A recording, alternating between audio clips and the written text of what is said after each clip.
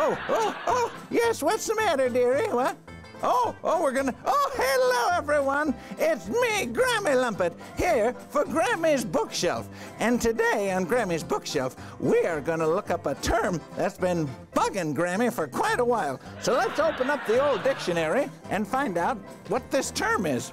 The term, or the word that's been bugging me, is called cistern. Now let's find out what cistern means. Okay, here we go. Um, the word cistern, according to my Webster's New World Dictionary that was copyrighted in 1943, is a large receptacle for storing water, especially a tank in which rainwater is collected for use.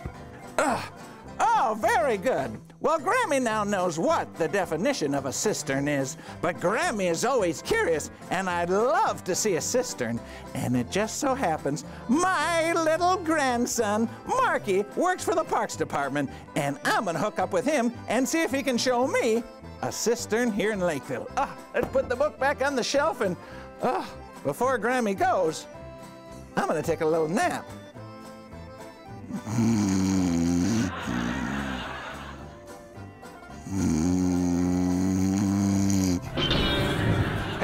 Hey, it's great you got out here to Ritter Farm Park and you gave me a call so we could talk about the cistern. Oh, Marky, it's so good to see you too. Give Grammy huggies. Oh, come Oh, here. very good. Oh, very good. so, you know what? I found out the definition of what a cistern is, but I'm wondering why is there a cistern here in the middle of Ritter Farm Park? Well, this used to be a farm.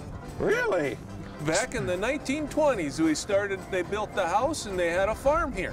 I know. What did they, they stored water in here? Because that's what the cistern does, it stores water. Why did they have water stored here, Marky? Well, they had animals for the farm and they had the people that lived in the house. so, Marky, they actually had a windmill that would pump and distribute the water here? The windmill would pump the water into the cistern and that's where it would be held like a water tower that we have today. Oh, very cool. Well, well, can we go inside, Marky? Can we go inside? Grammy would love to see the, what it looks like inside. Absolutely, Grammy. Come on, let's take a look. Okay, now be careful. Grammy has bunions.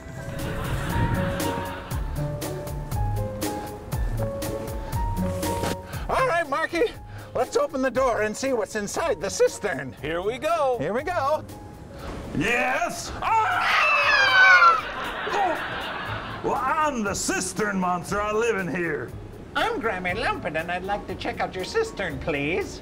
Well, I wish you would have called ahead and I could have kind of cleaned up the place, but come on in and take a look. Yes, so this is my home. As you can see, there's not a lot of lights, though. But that's what it looks like inside the cistern. Well, Marky, that was certainly nice of that monster to show us what was inside the cistern. Wasn't very much in there, was it? No, it's pretty empty. All right, well, Marky, you be a good boy and you get back to work so you don't get into trouble. I don't want Grammy to get you into trouble now. You have a great day, Grammy. I will, and you all have a good day too, and we'll see you next time on Grammy's Bookshelf. Come on, Marky, let's go give you some hot cookies and cocoa.